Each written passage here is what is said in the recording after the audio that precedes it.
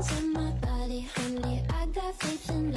大家好我是小弟今天给你们试穿我之前开箱的衣服还有分享我的穿搭经验。我现在身上穿的这一件碎花的连衣裙呢它的面料是聚酯纤维摸上去呢非常的丝滑。我觉得这个小碎花很好看？腰部呢是绑带来的。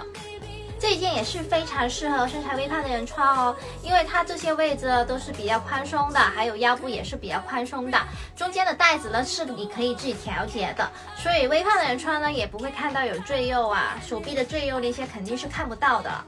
还有小肚肚也是看不到的哦。它中间的这些扣子呢都是可以解开的，还有就是它这个 V 领的设计呢会显得脖子比较长。我现在身上穿的这一件呢，格子的连衣裙呢，它的面料是那种聚酯纤维加上呃棉做的，它这种面料呢是不容易皱褶的，还有 V 领的设计呢，会显得脖子特别的修长。呃，腰的位置它是做了一个呃皱褶的修腰的，但是呢它不是那种紧身的哦，所以呢微胖的人穿呢都是非常好的。我这一批裙子呢买的都是非常适合微胖的人穿的。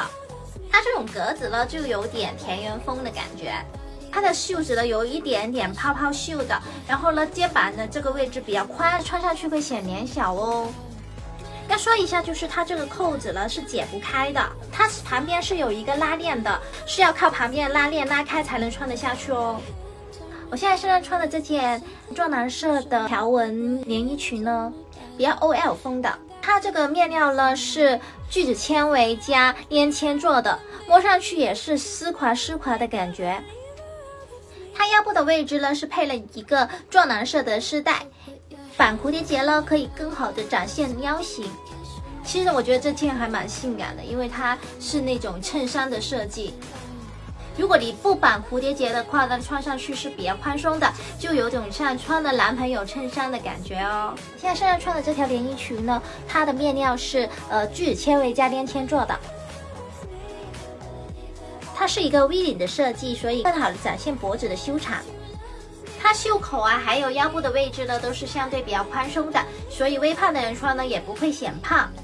这一条相对来说就比较淑女一点。那我今天的分享就到这里，这几天会给你们试穿不同的衣服，还有分享我的穿搭经验。喜欢的朋友记得关注我，下期见，拜拜。